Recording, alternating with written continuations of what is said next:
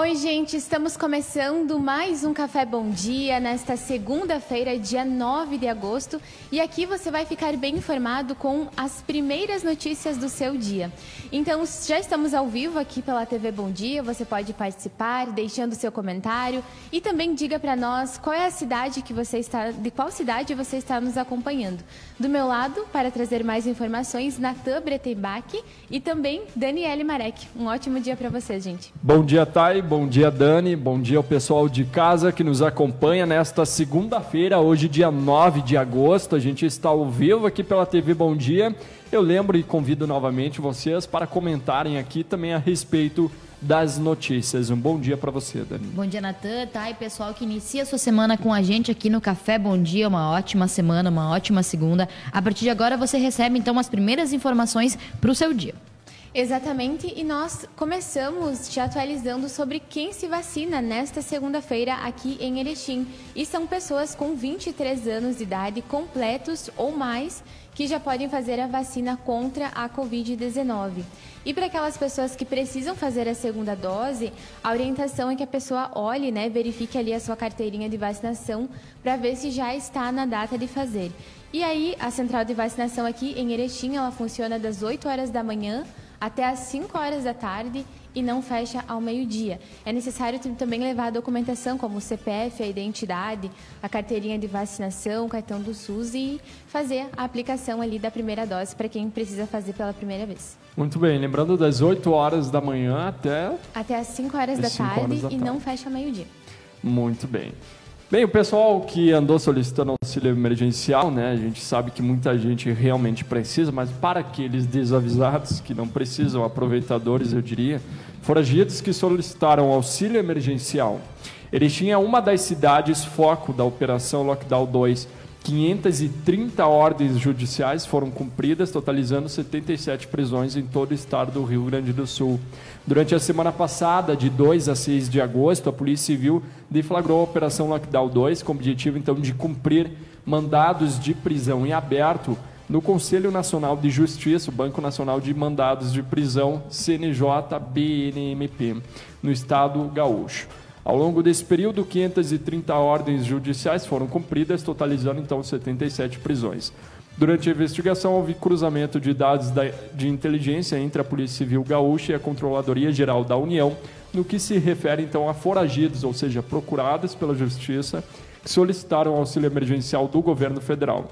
O diretor do Gabinete de Inteligência e Assuntos Estratégicos, delegado Endrigo Veiga Marques, destacou que eventuais crimes envolvendo fraudes ao auxílio emergencial são de competência federal e que o GIE enviará então um relatório à Polícia Federal no final, é, ao final da operação, nos mesmos moldes então do que foi feito na primeira fase da operação lockdown deflagrada em junho de 2020 com 207 prisões realizadas. E agora a gente tem quase o dobro, não é? 530 em todo o estado. Policiais civis de vários departamentos da instituição foram empregados na segunda fase dessa operação durante cumprimento dos mandados. As prisões ocorreram então em Porto Alegre, nas regiões de Gravataí, Canoas e São Leopoldo, além de várias outras regiões policiais do interior do estado. Então, dentre as regiões policiais aqui do interior do estado gaúcho, onde ocorreram prisões, estão as regiões de Santa Maria, Caxias do Sul, Santo Ângelo, Palmeira das Missões, Osório, Soledade, Passo Fundo, Bagé, Erechim, Lagoa Vermelha, Pelotas, Cachoeira do Sul e também Vacaria.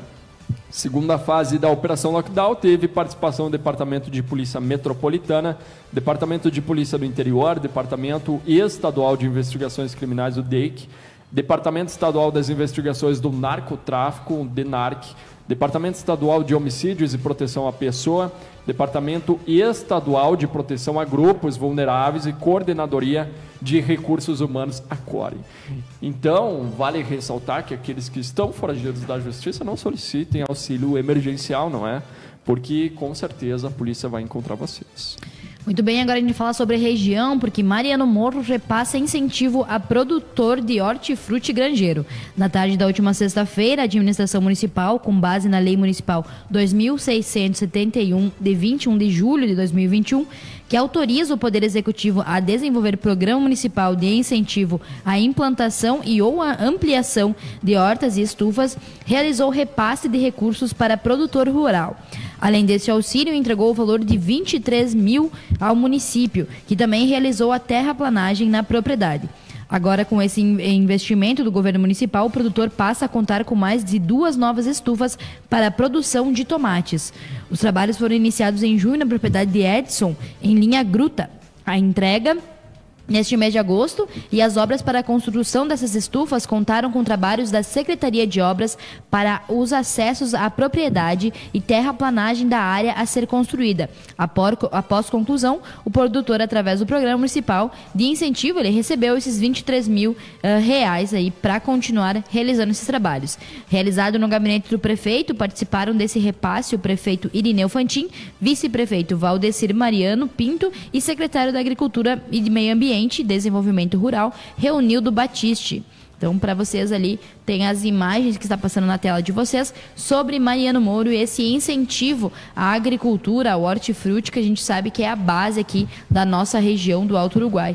Muito bacana a gente estar tá trazendo essas informações para vocês lá da cidade de Mariano Moro e um abraço também para o prefeito, para o vice-prefeito, que sempre nos mandam aqui materiais para a gente estar tá divulgando para vocês. Taiane do Carmo, a gente teve uma motociata no estado catarinense, vizinho aqui do sul do país. Exatamente. Uh, nós temos uma foto, né? O presidente ele participou de uma motociata lá no Distrito Federal no domingo, ontem, né? No Dia dos Pais. E nós temos uma foto para mostrar para você desse momento, né? São várias motociatas que o presidente faz, né? Ao longo desses meses, né? Que nós acompanhamos. Então a gente tem, né? Que ele participou de mais uma motociata, desta vez lá no Distrito Federal, em Brasília. Ele saiu do Palácio do Planalto e se reuniu com apoiadores. Uh, de acordo com as informações, promoveu aglomeração e não usou máscara. O número de motos foi menor em comparação à motociata do último sábado, lá em Florianópolis, mas as pautas de defendidas nessa manifestação, elas foram as mesmas, né, como a defesa do voto impresso auditável e as críticas aos ministros do Supremo Tribunal Federal. Nós temos também informação que esse ato ele aconteceu por volta das 8h30 da manhã e antes de começar o passeio de moto, o presidente se aglomerou com apoiadores para tirar fotos. Depois disso, ele rodou pela capital federal e as cidades de, e as cidades de Taquatinga e também Ceilândia. E depois encerrou então na esplanada dos ministérios. No final, ele voltou a cumprimentar as pessoas. Né? A informação que nós temos tem aí a foto para você acompanhar esse ato, né? São é, mais uma da, das passeatas, né? E as pautas, como nós comentamos, são as mesmas, né? A defesa, então, ali do voto impresso auditável e também as críticas, né, aos ministros do Supremo Tribunal Federal. Inclusive no sábado, né, a gente teve, como você mencionou, a motociata em Florianópolis.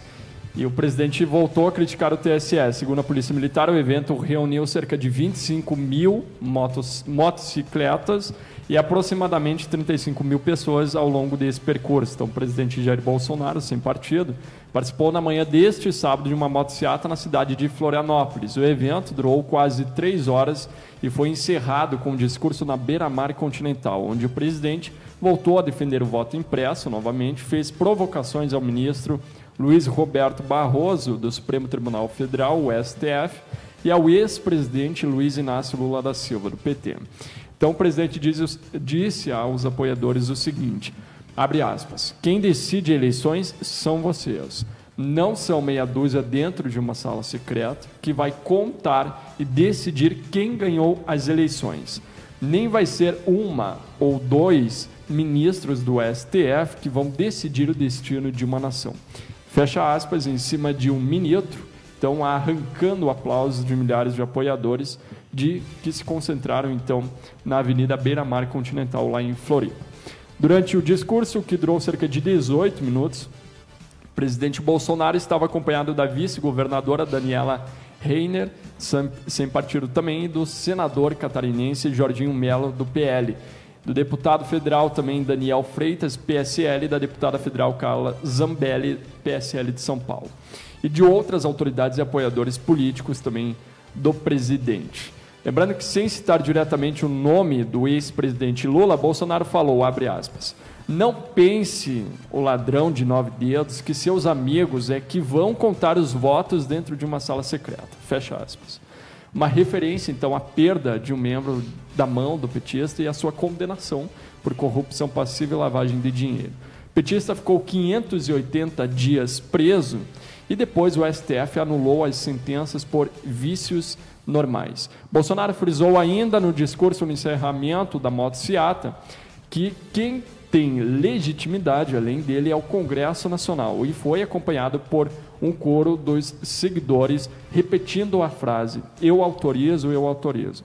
Uma alusão comuma, é, comumente, melhor dizendo, e usada pelos bolsonaristas para dizer que dão aval então, ao presidente para as suas ações. Tá, então ele fez outras afirmações, todas essas estão no site N demais lá de Florianópolis. Perfeito. Ainda falando sobre região, coleta de lixo no interior. A campanha de coleta de lixo no interior foi realizada com sucesso lá na cidade de Pai em Filho. A Secretaria de Agricultura e Meio Ambiente agradece o empenho dos munícipes e também o trabalho das agentes comunitárias de saúde, das agentes comunitárias também ali da cidade, e a coleta continuará no próximo ano. Solicitaram também que continuem os trabalhos de separação de plástico, vidro, papel e outros materiais que são descartados corretamente, que podem ali estar aí favorecendo a questão da coleta sendo uh, de forma consciente. Reforçamos também que a coleta de lixo eletrônico, pilhas, baterias e lâmpadas podem ser entregues na secretaria do prédio da antiga escola municipal. Isso lá na cidade de, de Enfim. Acompanhe as notícias da administração 2021 aqui também no Café Bom Dia. Muito bem, vamos ao comercial agora. A gente tem um texto comercial. Atenção, dona de casa, agora a gente tem um recado muito importante para você de duas lojas em Ecoville, que fica na rua Distrito Federal, número 60, no centro de Erechim, ao lado do Colégio AID e também da loja Galera, que fica na Avenida José Oscar Salazar, número 556, no bairro Três Vendas, em frente à Escolinha de Futebol do Odair. Estão com uma super promoção válida até o dia 11 de agosto, na próxima, no caso, esta quarta-feira. Exatamente, e entre os produtos nós temos o Limpol, que está por R$ 1,89, muito barato. Temos também o pano bordado e estampado por R$ 2,99. Temos o lava-roupa, 1 kg, por R$ 5,99. E também temos o papel Florax folha dupla por R$ 9,99. São preços, assim, realmente muito baratos, estão bem em contas. É, se vocês forem ir no mercado, por exemplo, comparar o preço do, do sabão, do sabão em pó, ele está basicamente 12, 13 reais, né? Então, olha só, esse daqui, lava-roupas, então. 1 quilo tá 5,99. Então, realmente é um preço, assim, que vale a pena, assim, para você, produtos do dia a dia, né? Para você que sempre está organizando a sua casa, coisa que a gente ocupa mesmo, né? Detergente também, o pano de louça, né? Que a gente ocupa mais de uma vez por dia, ocupa de manhã, ocupa de tarde, ocupa de noite. Então, Isso é uma... mesmo. E a gente sempre tem que estar tá trocando, né? Então, realmente, é, 2,99 tá um preço também bem baratinho, 3 reais, né? Basicamente, é. né? Bem barato mesmo, né? Para o pessoal que tem interesse, então, Dani, onde que ficam esses locais mesmo? Então, a, a, a Ecoville, ela fica na rua Distrito Federal, número 60, no centro de Erechim, ao lado do Colégio AID. E a Galera também, a segunda loja, fica na Avenida José Oscar Salazar, número 556, no bairro Três Vendas, em frente à Escolinha de Futebol do Odair. Então, para você que quer aproveitar essas promoções, entre ou passe na, nas duas lojas, uma no centro e uma aqui na, nas Três Vendas, e adquira essas promoções que estão válidas até quarta-feira, dia 11 de agosto. Dado o recado, a gente tem mais informações, Dani, agora ou não? Temos sim informação sobre Erechim, que Erechim seleciona apresentações artísticas e culturais para festejos farroupilhas solidários de 2021. A Prefeitura de Erechim, por meio da Secretaria de Cultura, Esporte e Turismo, está selecionando apresentações artísticas e culturais gauchescas para integrar a programação online dos festejos farroupilhas solidário de 2021. O chamamento público 6 de 2021 seleciona músicos e bandas com repertórios gauchescos. Os selecionados vão receber cachê de 500 reais para apresentação individual, R$ 1.000 para trios e R$ 1.500 para bandas com quatro ou mais integrantes. As inscrições já estão sendo divulgadas no site da prefeitura e desde o dia 1 dia 21 de julho, perdão, e seguem até a próxima semana. Esse chamamento está disponível nos canais da Prefeitura Municipal e também para maior esclarecimento juntamente ali ao telefone da Prefeitura. Quero agradecer o pessoal que está nos acompanhando. A Kelly Centenário mandando bom dia. A Glai Virato manda bom dia, pessoal. Maria Adelaide manda bom dia, ótima semana a todos. Jandira da Silva também manda uma feliz semana. Sadi Borges nos acompanha e manda bom dia lá de Maximiliano de Almeida. Ainda a Eluane Hélio Volante manda boa semana para todos e o seu recado de bom dia. O pessoal também está nos curtindo, a Marlene Milkiewicz, também Vande Dekin, a Tilícia Patilha, a Josiane, a Cirlei Maria Klein, também a, o Luiz Sterling, ainda a Elizabeth da Silva e Maria Celeste. Obrigado pela participação de todos vocês. Digam para gente aí da cidade de onde vocês estão nos acompanhando. Tá, e a gente tem uma mudança em um decreto, isso? Exatamente, falando aqui de Erechim, é, na semana passada o governo do estado ele emitiu mais um alerta aqui para nossa região em decorrência da pandemia. Mesmo com os casos assim diminuindo aqui na nossa região, em outras cidades, né, os casos eles estão aumentando. Então, agora nós temos um novo decreto aqui em Erechim que estabelece outras medidas em prevenção à Covid-19. Uh, nós temos aqui que esse decreto ele vale tanto aqui para Erechim como a, a, nossa região aqui, né, a, RD, a RD16, né, e com isso a região, mesmo com os índices locais diminuindo, como eu comentava, precisa redobrar os cuidados e atenção para esse quadro da pandemia. Esse documento ele aponta várias alterações. Entre elas, nós temos os restaurantes, os bares, lanchonetes, sorveterias né, e similares. Eles devem ter um controle de ocupação máxima de 50% das mesas, com apenas os clientes sentados com grupos de até cinco pessoas. Essa operação de sistema de buffet ela deve ser com lavagem prévia das mãos, utilização da luva descartável, do álcool gel 70% ou sanitizante similar por funcionários e clientes, distanciamento, uso de máscara adequada. É permitida a música ao vivo, respeitando os limites de volume e horário para a manutenção do sossego, mas fica expressamente proibido Fica expressamente proibido o funcionamento das pistas de dança. A disposição das mesas deve ter distanciamento mínimo de um metro e meio entre cada uma.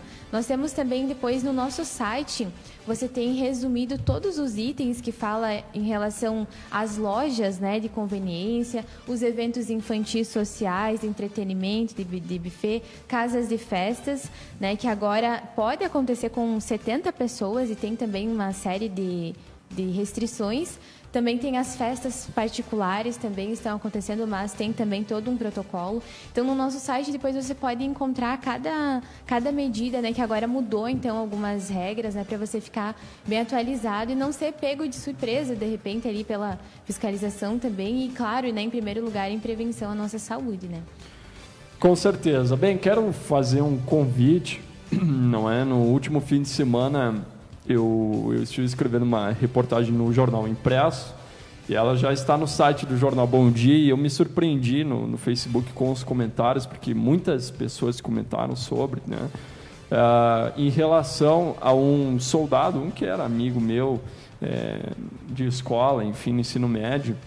E aí esse guri ele foi para o exército lá em Alegrete, né? no quartel ele ficou, ele iniciou o período básico que a gente chama uh, por volta de um ano, isso em 2016, e ele ficou lá no Exército e foi fazendo o curso de, de sargento, enfim, primeiro curso de formação de cabos, CFC, depois o, o CFST, que é o curso de formação de sargento temporário, e ele está como sargento temporário no Exército. É? Então tem pelo menos aí oito anos em um período para é, usufruir aí desse cargo, né? E muita gente, pessoal que serviu o exército em 85, em 93, 94, comentaram lá, né? Ah, saudade pessoal de Santa Maria também, dos, dos batalhões de lá.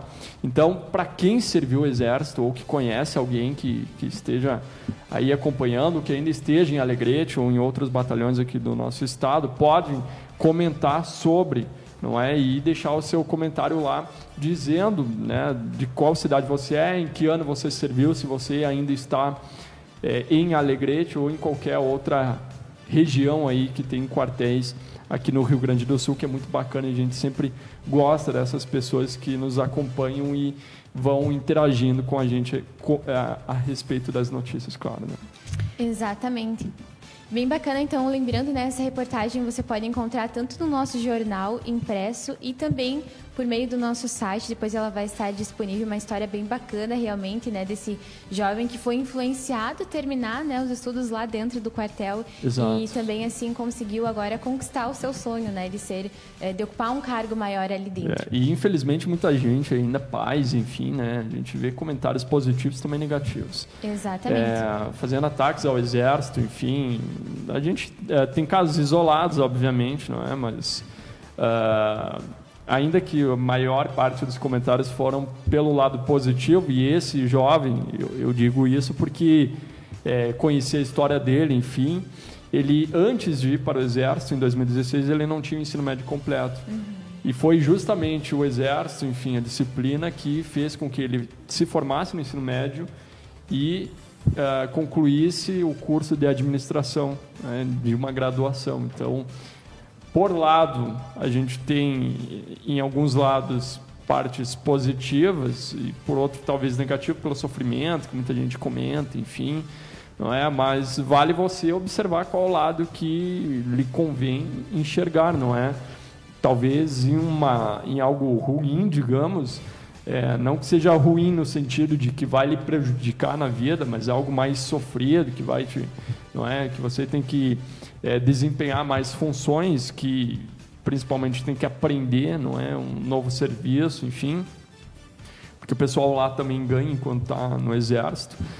Uh, você pode enxergar por esse lado como negativo ou pode enxergar oportunidades, como foi o caso do IERC, é? que agora é sargento temporário lá em Alegrete.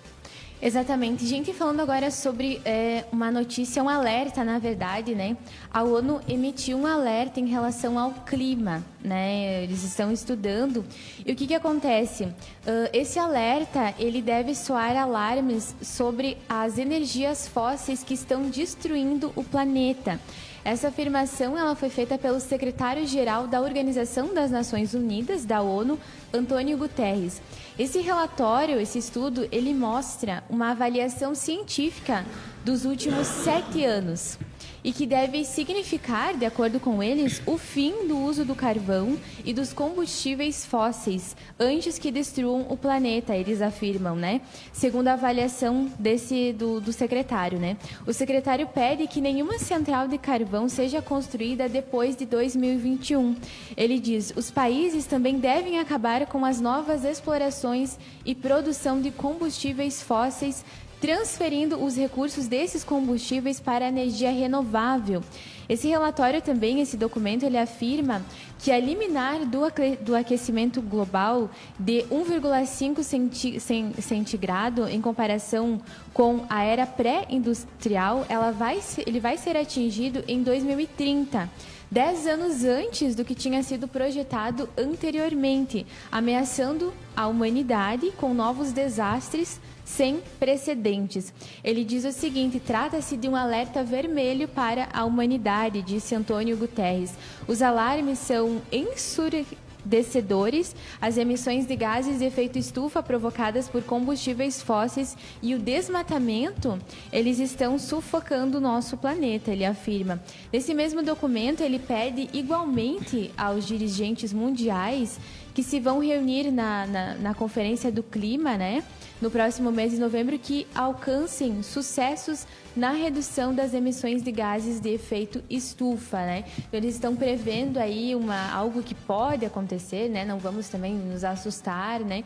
Então, possivelmente aí pode ser que não não não vai mais ter indústrias né, de carvão em várias partes do mundo também. Aqui no Brasil eles estão se reunindo porque realmente a gente observa né a gente muitas mudanças no clima né. Às vezes está muito frio às vezes está quente demais e tudo isso essas últimas semanas aqui no próprio Rio Grande do Sul né no o quanto a gente teve mudanças. São mudanças assim bem é, dif diferenciadas assim. Uhum. uma vez a gente tinha bem certinho na inverno inverno verão verão e agora a gente vê o sistema climático assim todo misturado uhum. né todo desregulado e isso é por conta desses gases também, um, um dos fatores, claro, né? É, e para os estudiosos, tu imagina uma, um aumento nessa temperatura global de 2,7, de acordo com o IPCC, e em 2100, a gente está em 2021, em 2100 deve aumentar, de acordo com o IPCC, o IPCC não é? esse relatório de estudos climáticos, justamente um aumento de 2,7 graus na temperatura do mundo.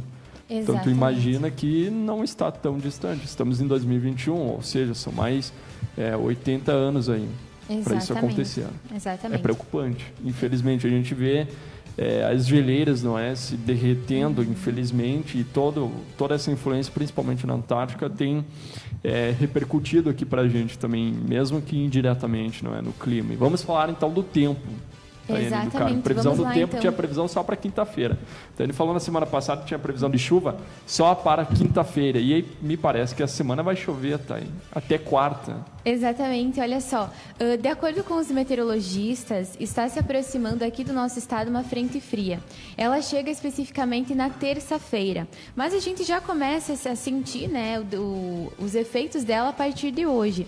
Aqui em Erechim pode chover 4 milímetros, mas esse volume de chuva ele é considerado baixo, então pode ser que ele também não venha. Ele pode se converter. É, ele pode se converter em alguma garoa isolada, por hum, exemplo, chove, chove um pouquinho num bairro, no outro bairro não chove chove. E hoje a previsão que nós temos é que as temperaturas elas ficam mais elevadas por conta do calor, né? Porque sempre quando uh, está prestes a chover, a gente acompanha esse aumento da, das temperaturas, essa sensação um pouco mais abafada, digamos Sim. assim. Hoje temos mínima de 13 graus aqui em Erechim, máxima de 26. A umidade do ar ainda assim ela está baixa, em 20%. E nesta semana, sim, nós temos pode, pode chover, né? Até quarta-feira, mas é um volume considerado muito baixo, né? Conforme uh, a gente vai atualizando, né? As, as questões do clima nós vamos informando para você também. Mas a princípio não é uma chuva assim, chuva, sabe? Mesmo, Sim, assim, curioso tá aí que para sábado a gente tem previsão de geada, não é? E, e mesmo com essa previsão de geada à tarde tem máxima de 24 graus, que absurdo. Exatamente, já mais chegando né, na metade do mês, nós temos sim no sábado mínima de 4 graus máxima de 24. Então, é mudança é, muito grande. É, é, uma amplitude térmica que os especialistas dizem, né? Quando existe essa diferença de uma temperatura dentro do mesmo período de tempo. Por exemplo, de manhã 4 graus e de tarde já 24. Então, é, é realmente. Gente, então já chegando aqui ao fim do nosso programa, né, do Café Bom Dia. Nós agradecemos muito a sua companhia, você que participou, você que esteve desde o início até o final aqui conosco, acompanhando as notícias. Nos aguentando, não é? Acompanhando as notícias da região, as notícias a nível nacional, aqui de Erechim, sobre vacinação e tudo mais. Nós sempre tentamos trazer um pouco de tudo para você ficar bem informado, para você saber o que está acontecendo aqui em Erechim, mas não só aqui em Erechim, né? Nas cidades vizinhas e também coisas que vão impactar a sua vida. Então agradecemos muito sua participação, sua audiência semana ainda está começando. Amanhã contamos com a sua presença aqui para fazer parte aqui da nossa programação. Nosso grande abraço e nos vemos amanhã. Um bom dia para você, gente. Obrigado, gente. Agradeço a participação também da Marlene Valdecir Simone, que estão nos acompanhando, e a todos vocês que estiveram comentando aqui também. Obrigado, Dani. Até amanhã. Obrigada, pessoal. Para vocês de casa também, uma ótima segunda-feira. Vocês podem ouvir novamente o Café Bom Dia em formato podcast, lá na Rádio do Jornal, www.radiobomdia.com ou direto no site, www.jornalbomdia.com.br. A gente se encontra amanhã a partir das 8h30 da manhã. Até lá.